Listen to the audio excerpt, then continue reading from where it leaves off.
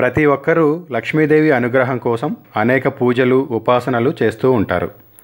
అలాంటి ఒక ఉపాసన గురించి మనం ఇప్పుడు తెలుసుకుందాం. శుక్రవారం లక్ష్మీదేవికి చాలా ప్రీతికరమైన రోజు అని అందరికీ తెలిసిందే. ఆ రోజు ఇప్పుడు చెప్పబోయే విధంగా అమ్మవారిని పూజిస్తే అమ్మవారి అనుగ్రహం విశేషంగా లభిస్తుంది.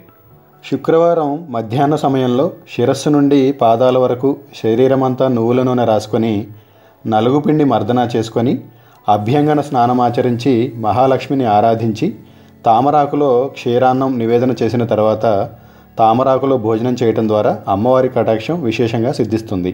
నూనె రాసుకొని నలుగు పిండితో చేసే అభ్యంగ స్నానం వలన శరీరం మీద మలినాలను తొలగించడంతో పాటు మనసుకు ప్రశాంతత కలుగుతుంది. ప్రశాంతమైన మనసుతో లక్ష్మీదేవిని పూజించి లక్ష్మీదేవికి ఇష్టమైన తామరాకులో అమ్మవారికి ఇష్టమైన క్షీరాన్నం అంటే పాయసమును నైవేద్యంగా సమర్పించాలి. పూజ ముగిసిన తర్వాత తామరాకులో ఉన్న అమ్మవారి ప్రసాదాన్ని మొదట తిని తరువాత తామరాకులో భోజనం చేయటం ద్వారా అమ్మవారి కటాక్షం విశేషంగా సిద్ధిస్తుంది అని పండితులు చెప్తున్నారు. ఈ పూజలో మరొక విషయం గుర్తుపెట్టుకోవాలి. అది దీపారాధన. దైవారాధన అంటే దీపారాధన. హిందూ సాంప్రదాయంలో దీపారాధనకు గల ప్రత్యేకత దీపారాధనకు గల శక్తి అందరికీ తెలిసిందే. శుక్రవారములలో ఐదు ముఖములు గల దీపపు కుందుల్లో ఐదు ఒత్తులను వేసి దీపమును వెలిగిస్తే లక్ష్మీదేవి కరుణిస్తుంది.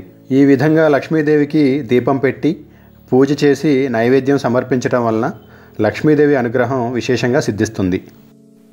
ఇలాంటి వీడియోస్ కోసం మా ఛానల్ సబ్స్క్రైబ్ చేసుకోండి.